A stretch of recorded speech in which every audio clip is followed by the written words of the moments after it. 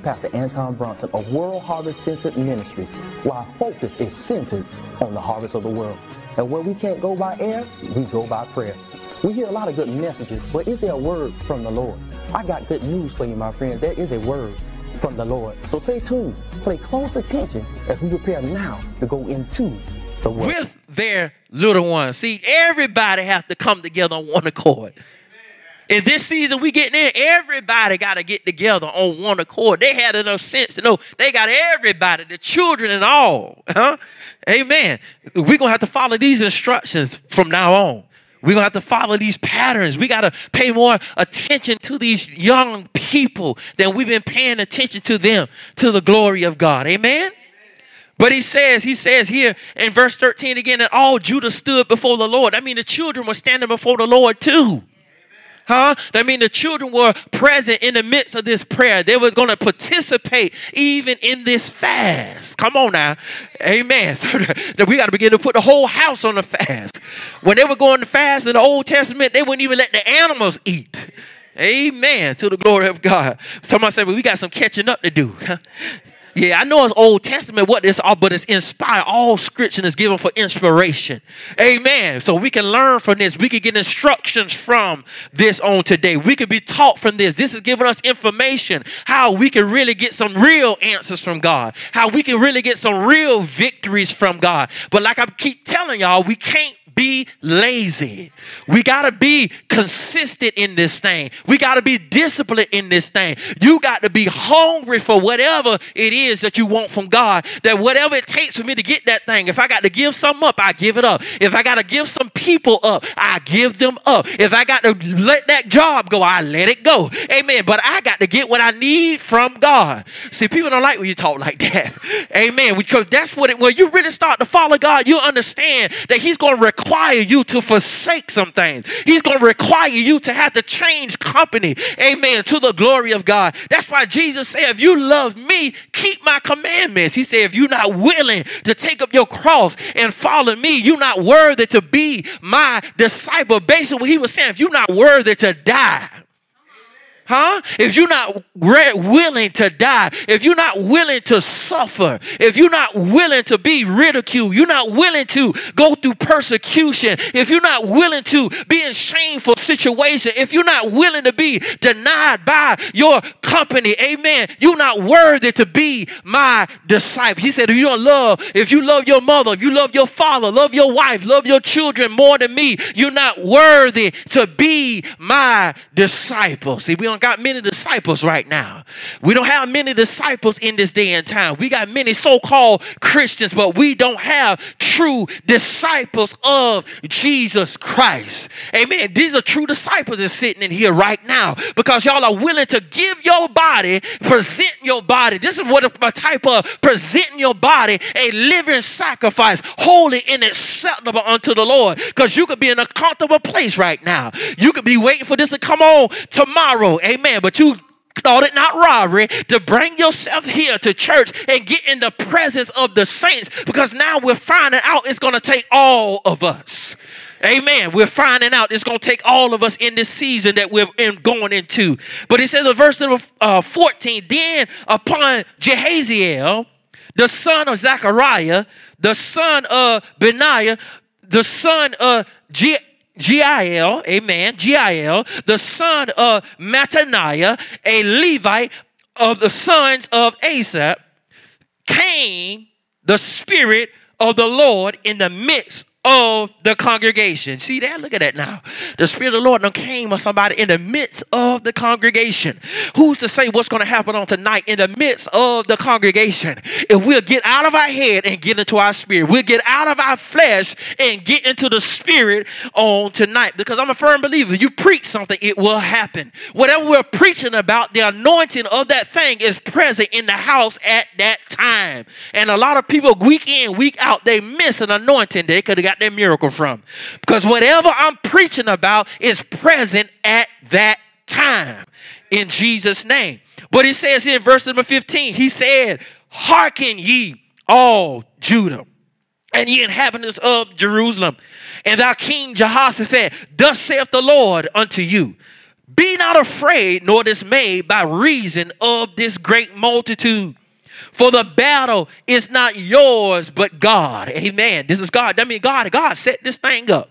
Amen. God had this thing already set. I don't know what you're going through right now. Could you ever think that God may have had this thing set up for the glory, for his own glory, because he wanted to get some glory? He has set some things up, allow some things to be set up in your life just for he can get the glory. That's what we miss it at. We don't want God to get the glory. We're in a place where we want some glory. But we ever want to step behind that curtain like we're supposed to, God will take you where He's been wanting to take you, but you got to get your focus back and let it be all for His glory.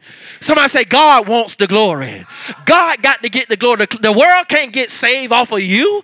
Amen. They got to see the glory of God. For things to change, it takes the glory of God, not the glory of you. And that's the problem right now why we don't see God moving in our service. He won't see God moving in the midst of us right now because we made this thing all about us, but it's supposed to be all about Him. And therefore, since it's supposed to be all about Him, sometimes He'll set some things up on His own and show you that you're going to need Him. Amen. Because I don't know, some of us got too grown. We don't think we need God anymore.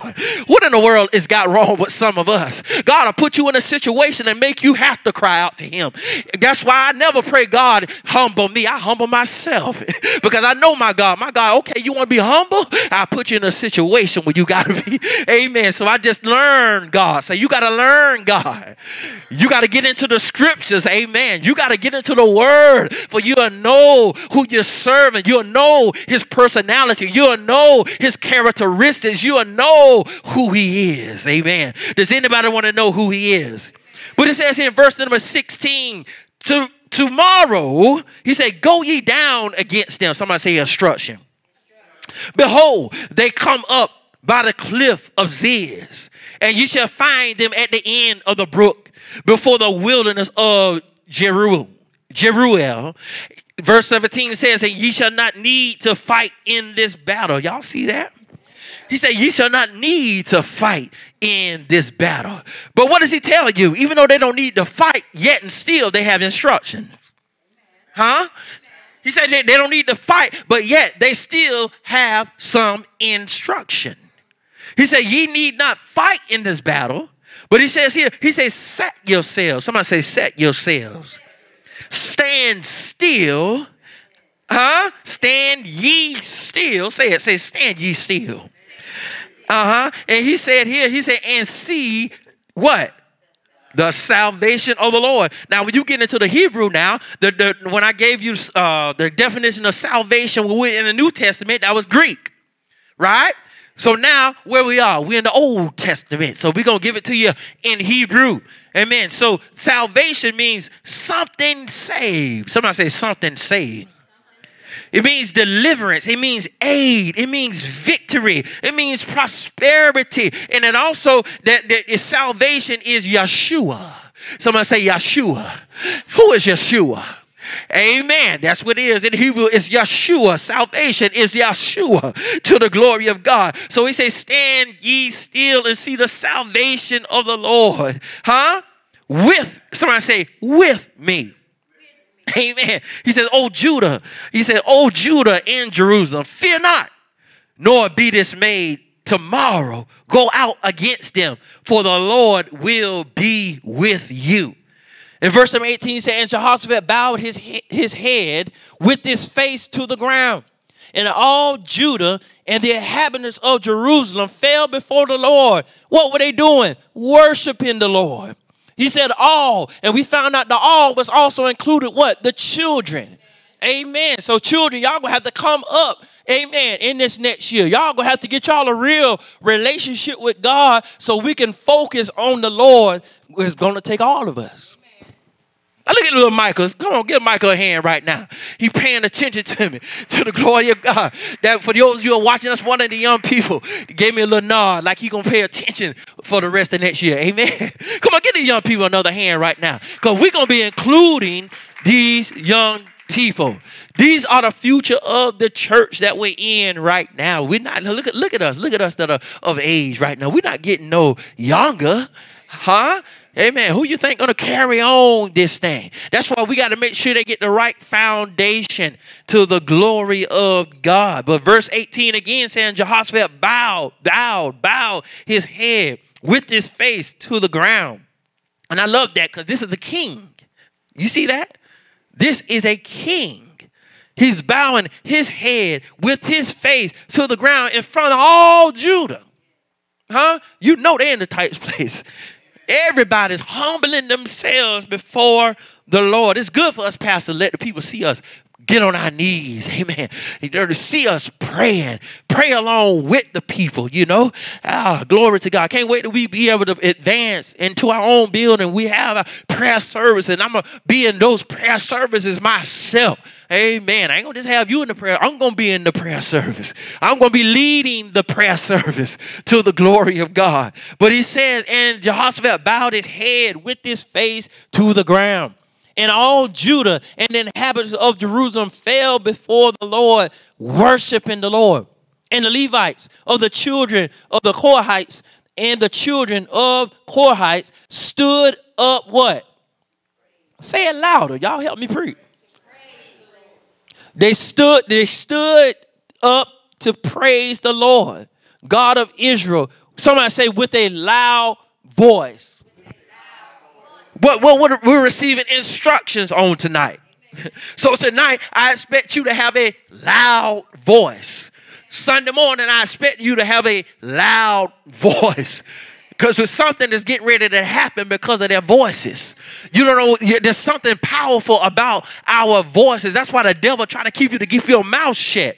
Because if you open up your mouth, things begin to move in the realm of the spirit. That's why he don't want you to open up your mouth. But it says that it stood, you see the core, has, it says stood up to praise the Lord God of Israel with a, that's in there for a reason, with a loud voice on high Verse number 20, and they rose early in the morning. Somebody say early in the morning. Mm-hmm. And went forth into the wilderness of Tekoa. And as they went forth, Jehoshaphat stood and said, Hear me, O Judah, and ye inhabitants of Jerusalem. Believe in the Lord your God, so shall ye be established. Believe his prophets, and I and I and I circle put a red circle. I don't know when I did that, but I but I put emphasis on I circle his because there's many people out there with the title of are calling themselves prophets, but the key thing his prophets. Amen. So the key thing is his prophet. Let's say, believe in the Lord your God, so shall ye be established. Believe his prophets, so shall ye prosper. You don't understand. When I stand before you preaching the word of God, I stand as your prophet. I stand as the mouth peace of God. So a lot of people going around looking for prophet, prophecy constantly coming forth.